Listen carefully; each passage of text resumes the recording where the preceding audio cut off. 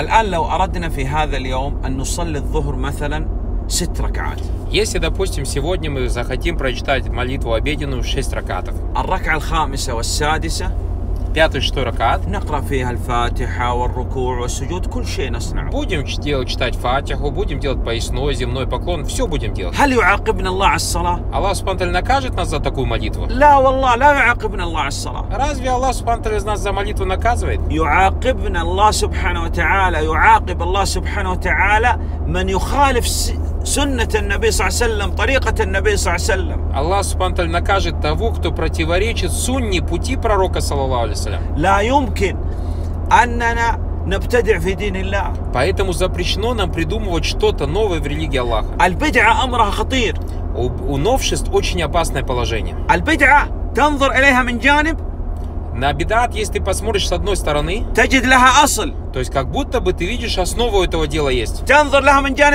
Если же с другой стороны на него посмотришь, оно противоречит шариату. Допустим, 6 ракатов обеденной молитвы.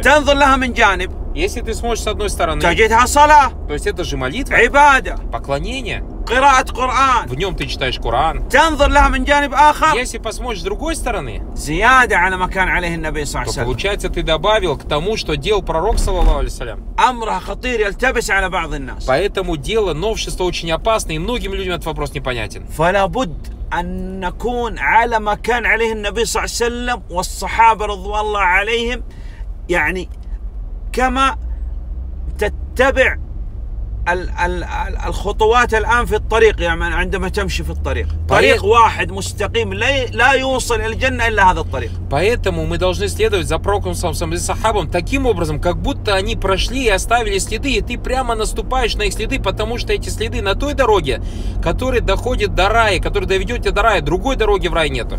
لا يمكن أن نبتدع Мы не имеем права придумывать что-то в религии. الآن تدخل إلينا البدعة من دون أن نشعر Сейчас к нам приходят новшества, мы даже, может быть, не понимаем этого. هذه وسائل التواصل الآن Допустим, средства массовой информации сейчас. يرسل لك في كل جمعة Постоянно тебе каждый джума приходит послание, يقول جمعة مباركة говорит тебе в джума мубарака, пятница мубарак. لماذا؟ Зачем? هل فعل هذا النبي صلى الله عليه وسلم؟ Разве делал нечто подобное هل пророк فعل Салсалам? الصحابة رضي الله Разве عنهم؟ нечто подобное делали في كل сподвижники? في كل جمعة يصنع بعض إخواننا بعض إخواننا هدانا الله إياهم يا يا يا يا- يجعل في الحالة مثلا في الواتساب إن الله وملائكته يصلون على النبي عليه الصلاة والسلام Некоторые братья делают подобное в WhatsApp и в других каких-то программах, допустим, посылают тебе аят, где- в котором сказано, поистине Аллах и его ангелы просят благословения. أو ي- أو ي- في كل جمعة يذكر لك أن الجمعة لابد فيها من الاغتسال قراءة استحب قراءة سورة الكهف أكثر من النبي ص- Или صلاة каждый- على النبي صلى الله عليه وسلم Или каждая джума тебе постоянно посылают одни и те же сообщения, в которых напоминание о том, что надо делать по пятницам. لماذا؟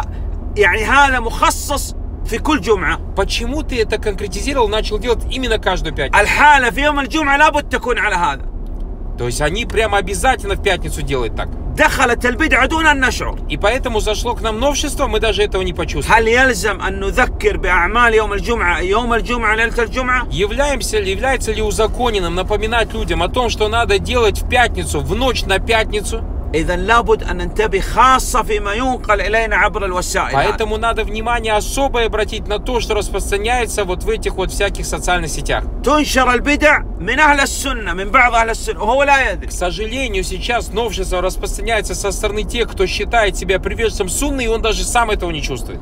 والله أعلم